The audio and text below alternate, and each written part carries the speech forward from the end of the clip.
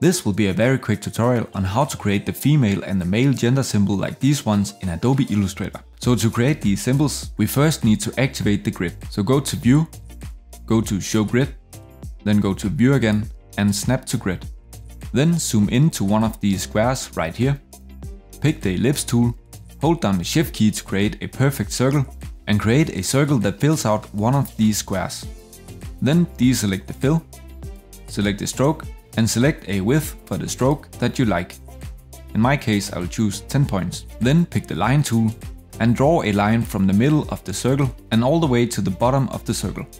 This way the line will be half the width of the circle, also called the radius. Now pick the selection tool, drag this line down like this, so that the end of the line is touching the circle. Then while having this line selected, go to edit, go to copy, then go to edit again and paste in front.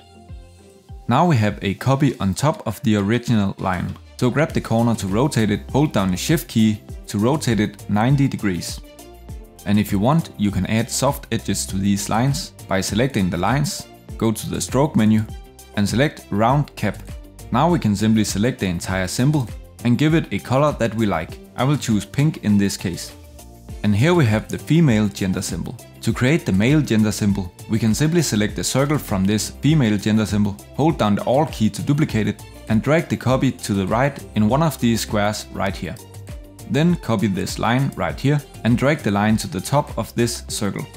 Then pick the pen tool and draw a line going from this exact spot right here to this spot right here and down to this spot right here. Then pick the selection tool, select the head of the arrow and notch it down one time with the arrow key.